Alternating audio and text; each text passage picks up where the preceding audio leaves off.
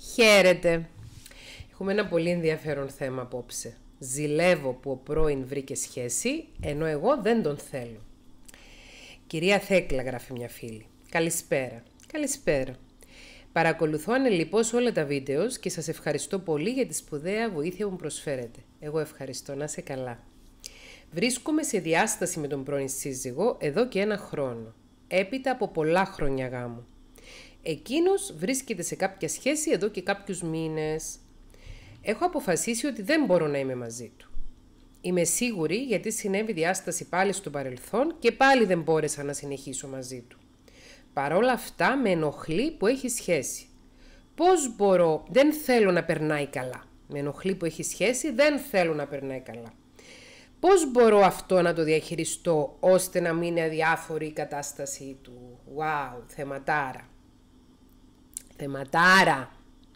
Γιατί ακριβώς μας δίνει την ευκαιρία να ξεκαθαρίσουμε την κτητικότητα από την αγάπη. Ευχαριστούμε.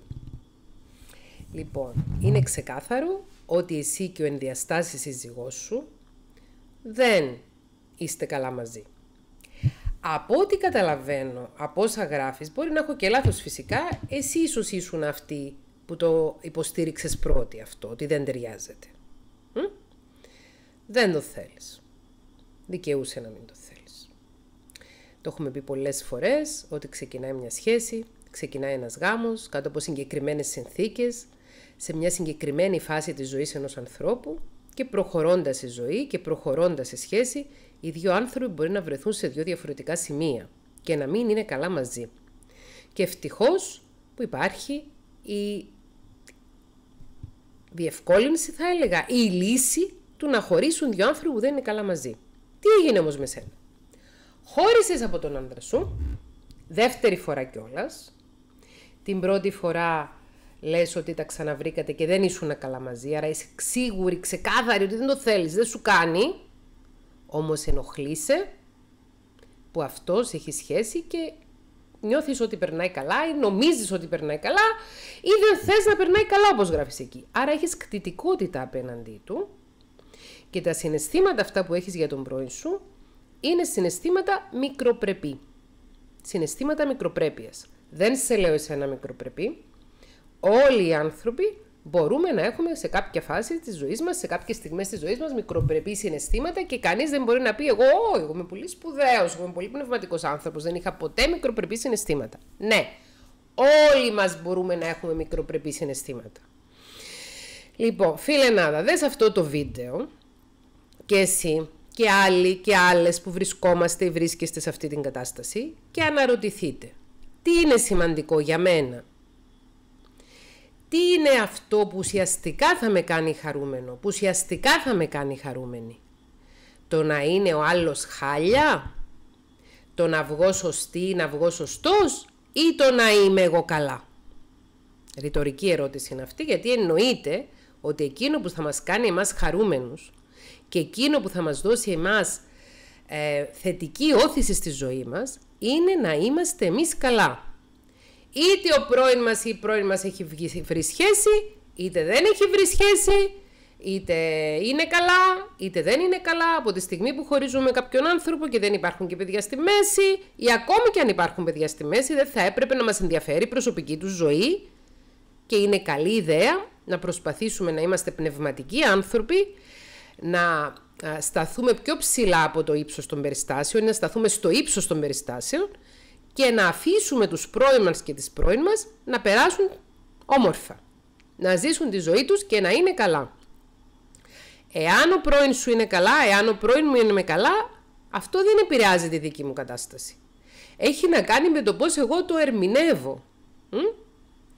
Αν ε, μαθαίνω ότι ο πρώην μου είναι καλά και είναι σε μια καλή σχέση και είναι καλά, εάν εγώ θεωρώ ότι δεν δικαιούται ο πρώην μου να είναι καλά, επειδή για παράδειγμα με έχει στενοχωρήσει εμένα ή επειδή δεν ήταν καλά με μένα και το παίρνω αρνητικά, είναι η δική μου ερμηνεία των γεγονότων που με κάνει να είμαι στενοχωρημένη ή στενοχωρημένος, επειδή το ο άνθρωπος που ήμουν μαζί του προηγουμένως ή μαζί της προηγουμένως δεν είναι καλά.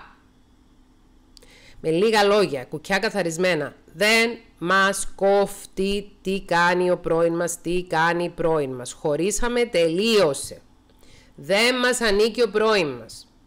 Δεν έχουμε λόγο στη ζωή του πρώην μας, στη ζωή της πρώην μας. Είναι πρώην. Πρώην σημαίνει είναι αυτός που παλιότερα ήταν σύντροφός μας, που παλιότερα το τι έκανε μας αφορούσε. Πλέον δεν μας αφορά.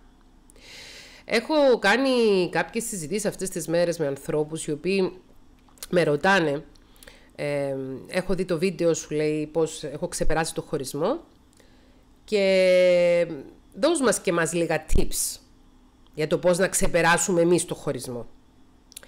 Και λέω δεν είναι θέμα tips. Δεν είναι θέμα να σου πω κάνει αυτό, μην κάνεις το άλλο. Αλλά υπάρχουν ορισμένα πράγματα τα οποία είναι must για να ξεπεράσεις ένα χωρισμό. Και ένα από αυτά είναι να σταματήσεις να ασχολείσαι με το παρελθόν.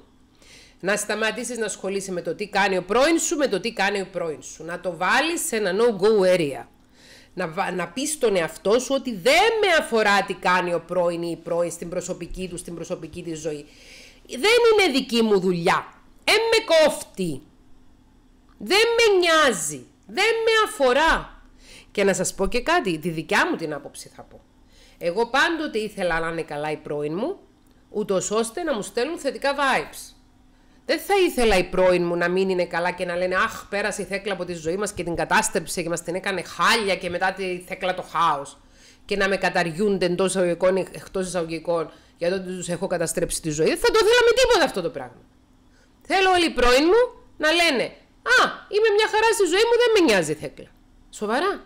Είναι μια πολύ σπουδαία υπόθεση να μπορούμε να αποκολληθούμε από μια σχέση ή από ένα γάμο στην παρούσα περίπτωση ο οποίος έκανε τον κύκλο του.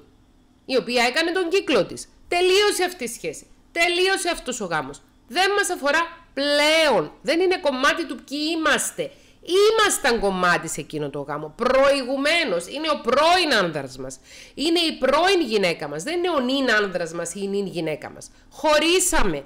Τελείωσε.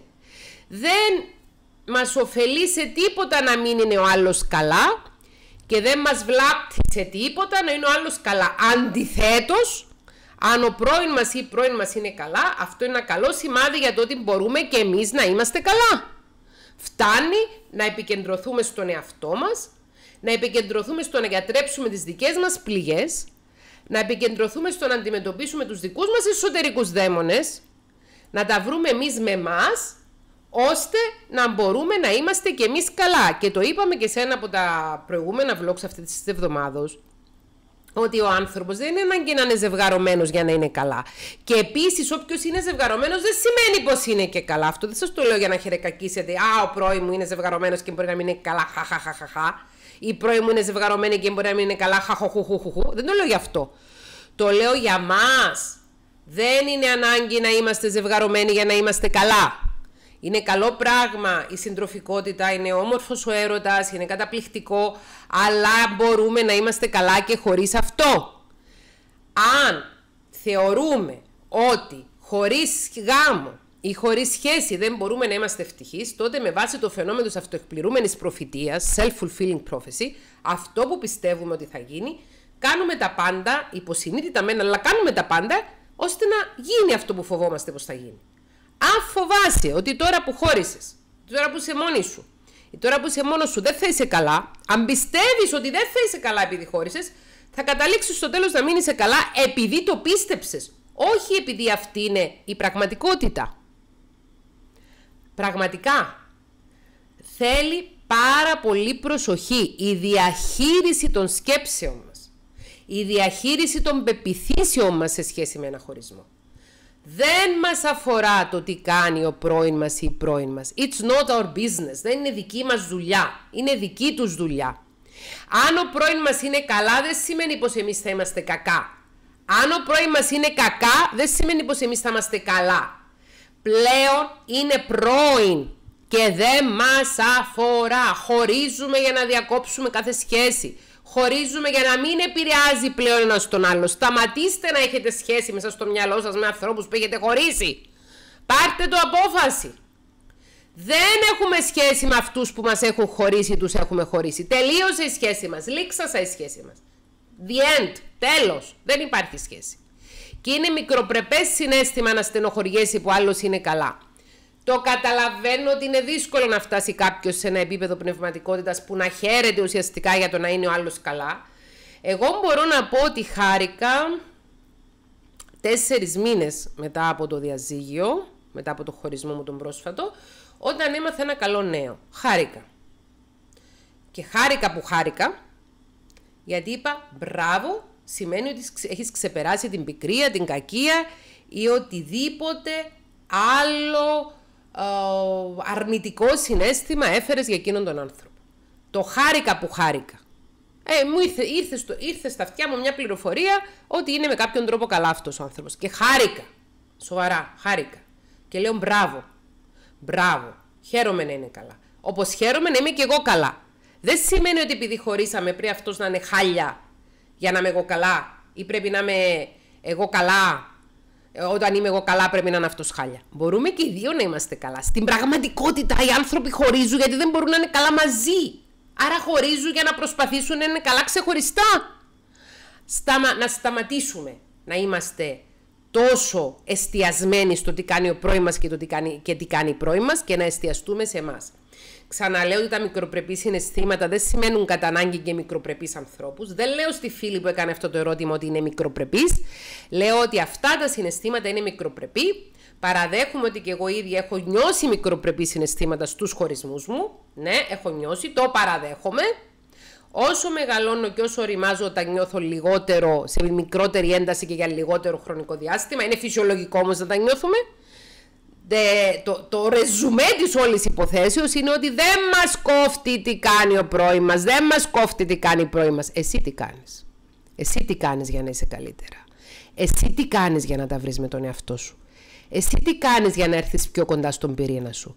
Εσύ τι κάνεις για να δημιουργήσεις τη δική σου τύχη και τη δική σου ευτυχία. Μόνοι μας φτιάχνουμε την τύχη μας. Όταν εστιαζόμαστε στο πώς να κάνουμε τη ζωή μας καλύτερη, αντί στο πώς να κάνουμε χειρότερη τη ζωή των άλλων. Την αγάπη μου σε όλους. Φιλιά!